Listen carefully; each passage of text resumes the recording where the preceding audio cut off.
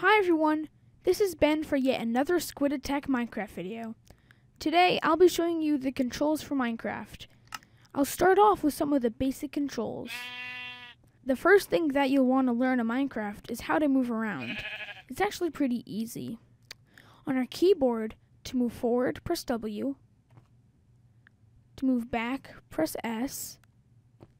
To move left, press A. To move right, press D. If you notice, W, S, A, D are close to each other, making it easy to use with your left hand so you control the mouse with your right. With your mouse, you can look around by moving it. You can scroll through your nine slots at the bottom of the screen with the scroll wheel on your mouse. To attack or destroy blocks, press the left mouse button.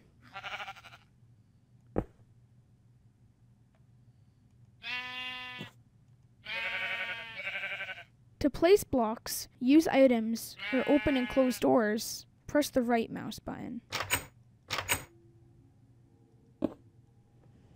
The space bar allows you to jump, and if you hold down W while you are jumping, you can jump out of holes and climb up ledges.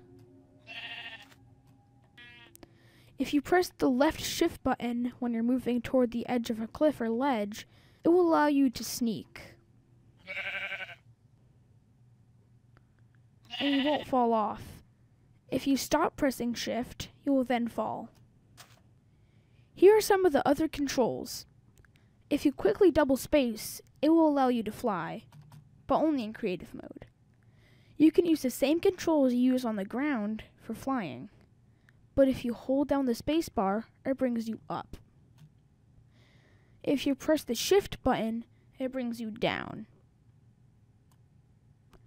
To stop flying, quickly double space again.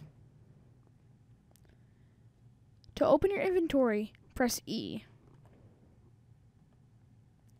If you want to drop an item, press Q. To pick it up, just walk toward it. To enter a cheat command, use the slash button. Here's an example of how to change the time of day in your game.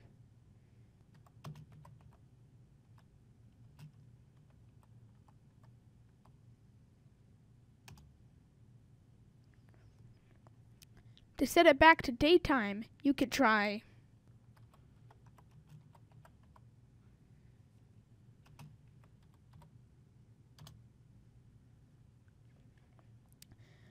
Press F1 to hide things on the bottom of your screen.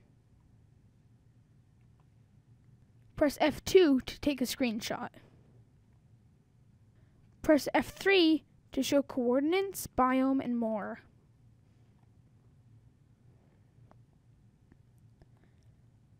Press Shift F3 to show current performance stats.